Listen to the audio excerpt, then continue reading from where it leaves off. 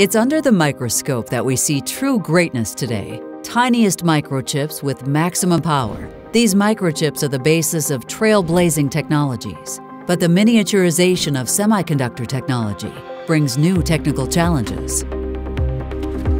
Chips werden über photolithographische Chips are made using lithographic processes. To do this, we need masks. We can think of masks as a sort of template that produces the desired patterns on a substrate by means of photolithography. gewünschten auf den Mikrochip abbilden kann. Kind of like a slide in a slide projector. This process, however, reduces the image instead of enlarging it.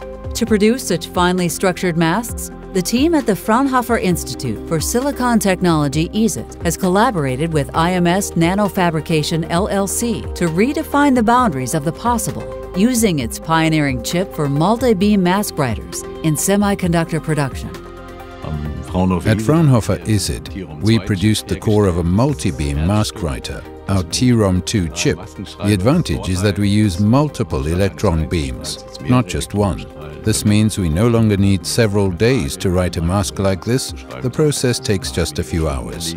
The new chip works with 512 times 512 or 262,144 beams at the same time, made possible by minuscule openings in the chip membrane.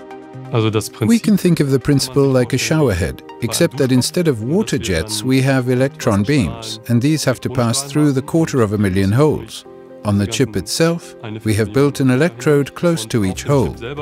This electrode is designed to ensure that the beam is switched on or off. This means we have an entire array of electron beams that we are able to control.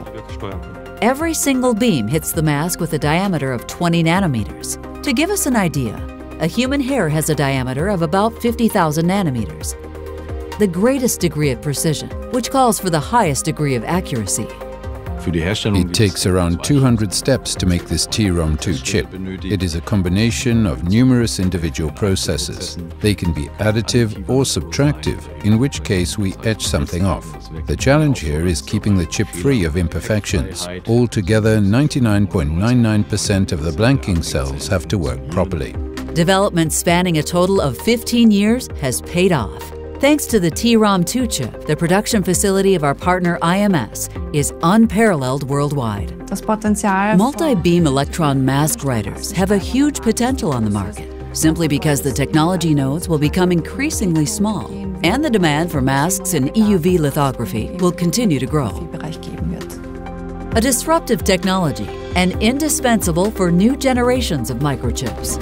Even finer, faster, and more energy efficient. This is how the team from Fraunhofer ISIT and IMS Nanofabrication are opening the door to excellent applications on the smallest possible scale.